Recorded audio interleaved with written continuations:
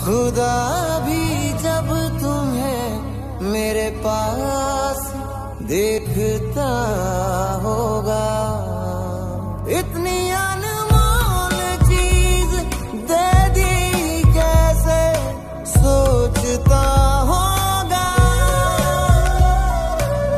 तू बेमिसाल है, तेरी क्या मिसाल दूँ?